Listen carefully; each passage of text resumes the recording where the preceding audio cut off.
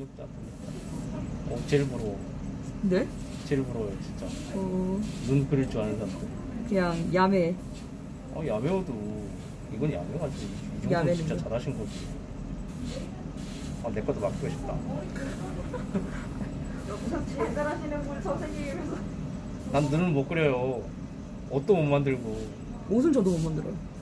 옷은 그냥 사요. 바느질 못해서. 나도 진짜 솔직히 데칼 붙이는 것보다 그리는 게 좀더 좋아요. 훨씬 자연스럽잖아요. 네. 사람 얼굴 같아. 아까 전에, 아, 그러니까 제가 데칼 처음 했을 때도 너무 네. 붕 뜨는 느낌이 드는 거예요, 약간. 네. 그래서, 아, 이거 그냥 차라리 그리는 게 더 낫겠다. 그러니까 그리고 아, 오히려 예. 순수 그리는 게좀 응. 격차가 안 맞아도 괜찮아 보여요. 음, 그니까. 그러니까 원래 눈이 좌우 비대칭이잖아요, 이게. 네, 그쵸.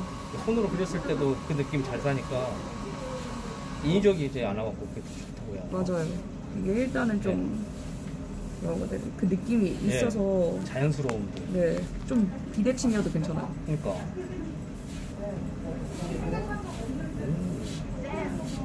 그러시는 것 같은데?